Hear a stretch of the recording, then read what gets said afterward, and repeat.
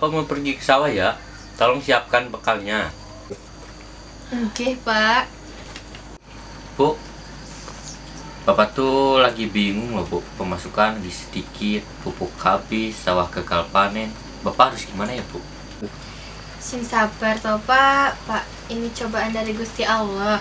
Mungkin Bapak besok dapat rezeki lebih. Iya ya Bu, mungkin ini cobaan dari Gusti Allah. Ya sudah, habiskan dulu makanannya.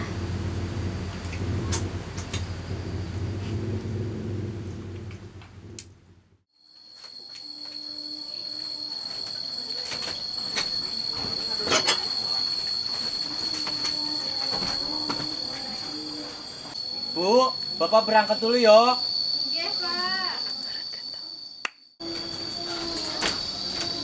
Pak, tunggu.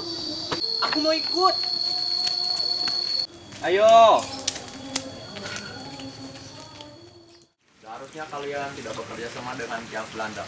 Apa yang kalian lakukan itu membuat uang kita dan secara bangkrut dengan atas kompensasi tersebut. Tetapi Gusti Pangeran, ini juga menguntungkan bagi kita. Memang apa keuntungan kalian yang dari dapatkan dari pihak Belanda? Banyak sekali Gusti Pangeran, tidak bisa kami sebutkan satu persatu. Intinya kami akan tetap bekerja sama dengan pihak Belanda.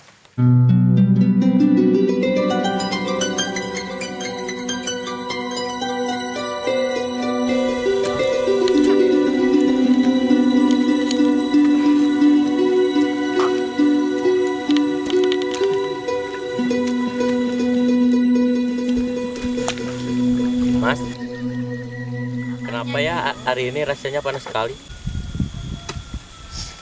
Iya loh, kenapa ya?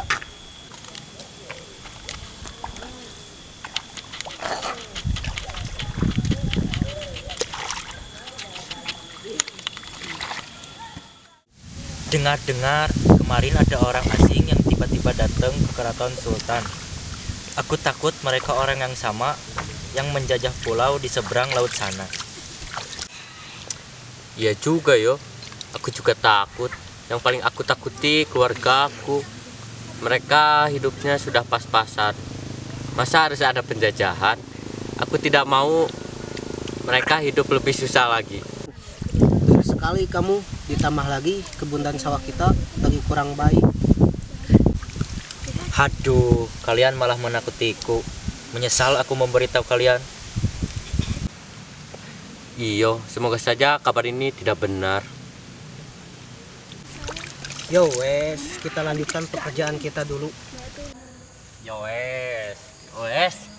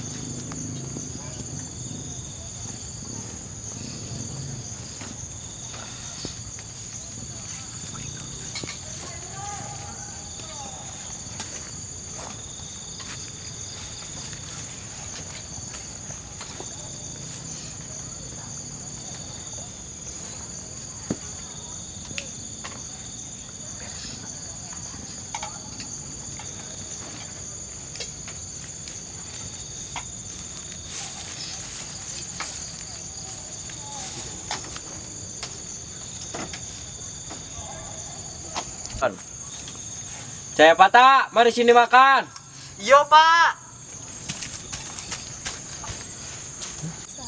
Tidak usah pak, aku sing mangan tak umah aja. Bok, kenapa kamu diam saja? Makan nasi bareng-bareng. Ora lo mas, aku wes mangan tadi.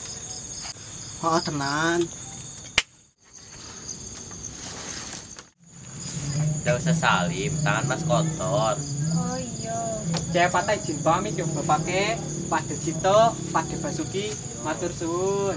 Yo, cing semangat ya lem buat kendinya. Matur suwun bapake. Wassalamualaikum. Waalaikumsalam.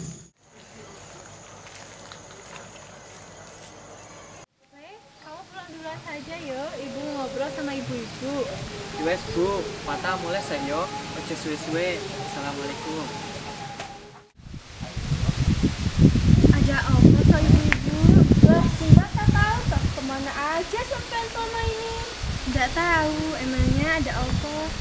Itu loh, sampai nggak tahu kok. Mau tahu nggak? Ya wes, kalau mau tahu, kan biro. Ih, kita lagi serius toh bu. Iki loh jeng, sampean tahu tidak tentang di keraton? Yang tidak tahu, emangnya ada apa? Jadi gini mbak, katanya di keraton sedang ada konflik gitu loh. Menurut saudaraku yang bertugas di keraton sih ada pihak asing yang datang dengan baik-baik ke sana. Tapi anehnya pihak asing itu ditolak oleh pihak keraton. Mungkin ada satu hal yang membuat kondisi tidak baik-baik saja di sana. Oh, sepertinya itu yang menyebabkan pihak asing ditolak mentah-mentah oleh pihak kerajaan. Aku lupa toh. Patah sengumah buat kendi. Aku wes cepat-cepat pulang ke rumah. Ibu-ibu, saya pulang duluan ya. Di rumah Pata lagi nungguin. Eh jeng buru-buru amat. Waalaikumsalam. Assalamualaikum. Le.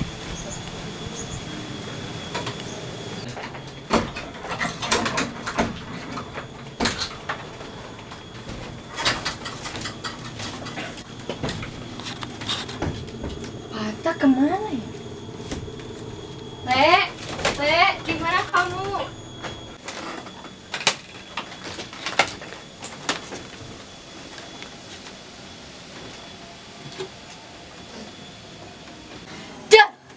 Wih, jadi kaget aku bu.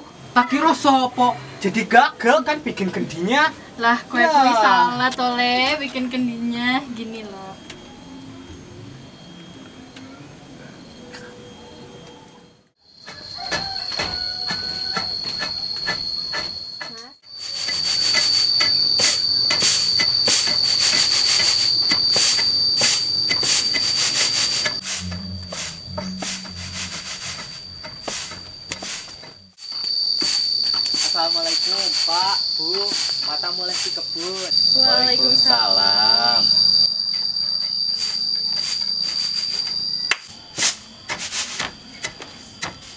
Iya Pak, waktu kemarin aku kembali dari sawah, aku dapat informasi dari ibu-ibu.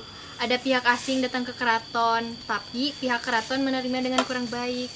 Oh gitu. Kira-kira informasi itu dapat dipercaya atau tidak? Ya bisa toh Pak, ini informasi dari saudara ibu-ibu yang ada di keraton. Ibu jadi takut loh Pak. Jangan takut, Bu. Tidak akan terjadi apa-apa kok.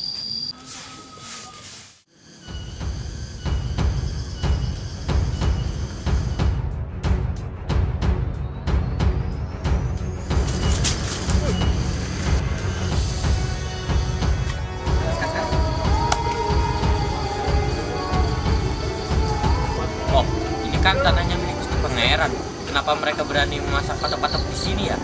Ini pangeran harus saya kasih tahu.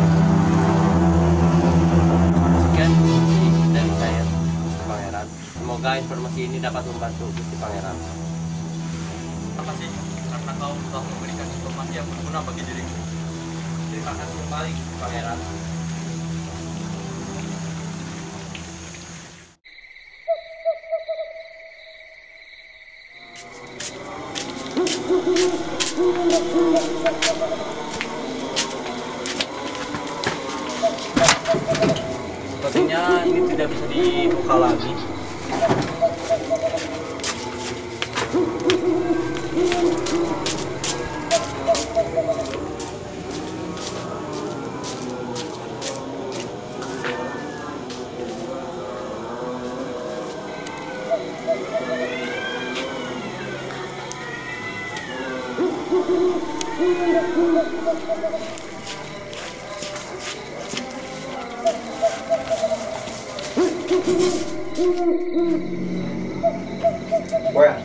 Woo woo. I like that bed. How you doing, CD? Okay. Minute? What?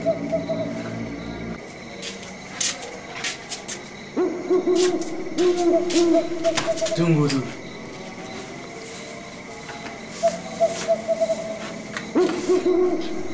Minute. What? Orang ini aman. Permisi Tuan, kedatangan saya di sini saya akan menginformasikan sebuah informasi kepada kalian. Tadi ada seorang petani desa yang melihat kalian sedang memasang patok-patok di tanah leluhur. Di Ponorogo terlihat sangatlah mereka marah kepada kalian. Siapa petani itu? Dan di mana dia tinggal? Berani-beraninya sekali dia. Dia bernama Cahyo. Dia seorang petani desa yang tinggalnya tidak jauh di keraton. Dia tempat tinggalnya di rumah sederhana. Baik,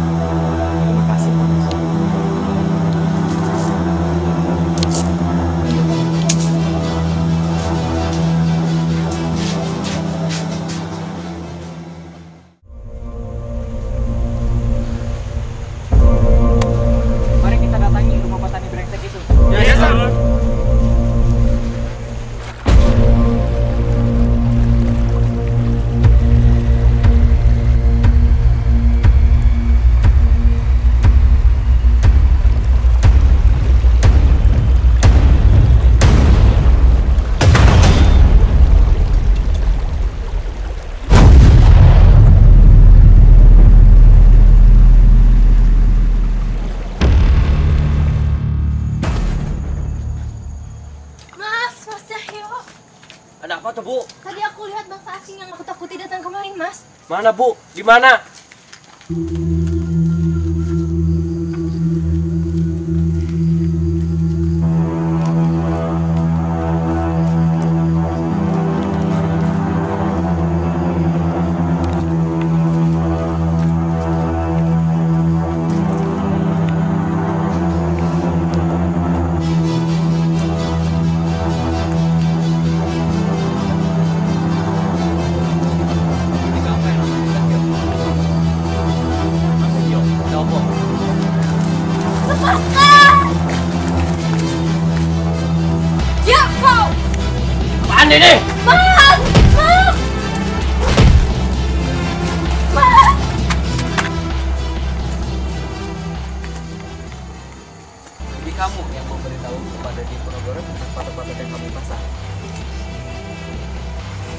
Kamu pasti tahu kan akibatnya. Tidak peduli dengan ancamanmu. Selama aku bisa mempertahankan negeri ini, akan aku lakukan apa pun. Besar juga keberanianmu Cahyo. Sekarang lihat akibat dari perkataanmu. Ngomong sebenarnya seperti yang kamu lihat, kami telah memasang patok-patok di tanah leluhur Ponorogo tanpa seizin darinya. Sebenarnya tujuan kami memasang patok-patok itu ialah untuk membangun jalan yang melintasi tanah dan, memak- dan makam leluhur Ponorogo tidak hanya itu. Kami datang kemari untuk mencari daerah jajahan baru, mencari kekayaan dan memonopoli perdagangan. Apa? Tega sekali kalian berbuat seperti itu. Tenanglah, dasar bajingan. Santai saja. Hal yang telah aku sebutkan tadi akan terlaksana saat kamu mati di sini. Beristirahatlah dengan tenang, dengan penuh penyelesaian.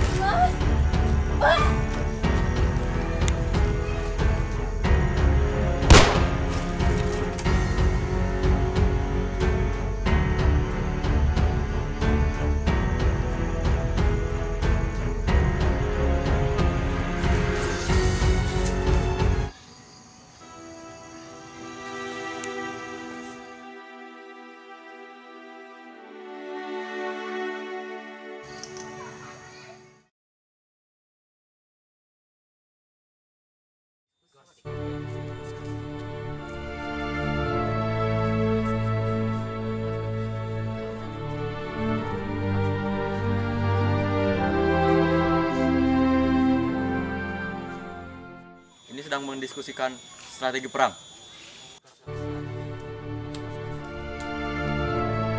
Begitu, mohon maaf atas kelancangannya. Izinkan saya untuk ikut berperang, Gusti Pangeran. Tidak boleh.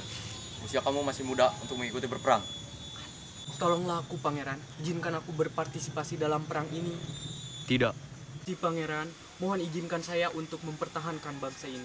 Saya ingin membalaskan dendam saya kepada pihak Belanda yang telah menewaskan kedua orang tak saya. Mohon izinkan saya, Gusti Pangeran. Eh, mohon, Pangeran, izinkan saya. Ya sudah. Selama kamu mengikuti perintahku, saya akan izinkan kamu ikut berperang. Terima kasih, Gusti Pangeran.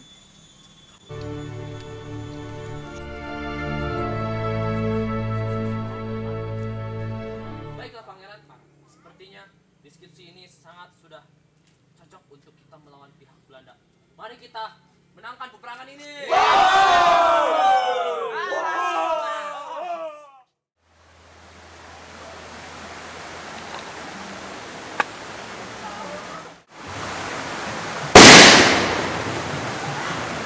Barisan, kumpul dalam satu ruangan dan kembali kereta.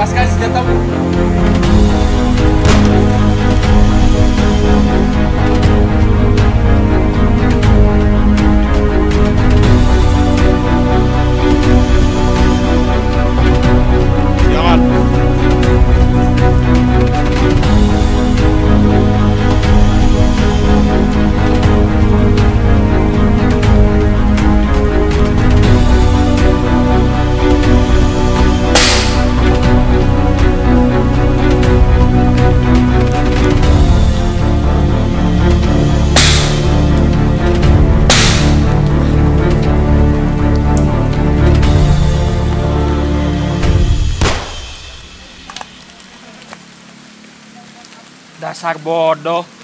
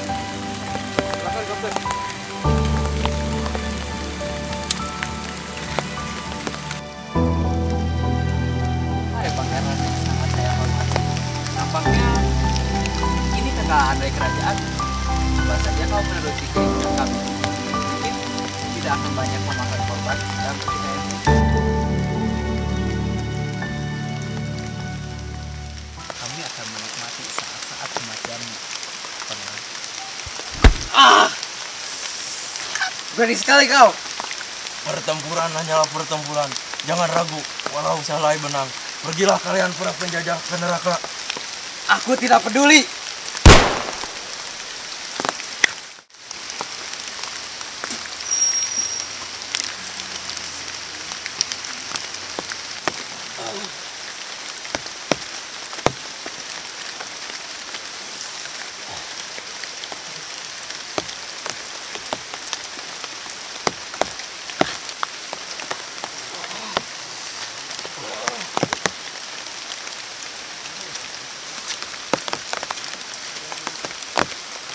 Apanya kau di sini? Ah, maafkan aku. Ibu, Bapak, aku tidak bisa membalaskan dendam kalian kepada pihak Belanda.